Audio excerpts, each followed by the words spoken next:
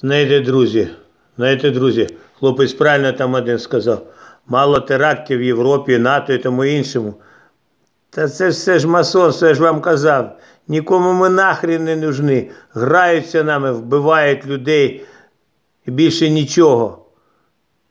51 людина загинула в селі Гроза. І що?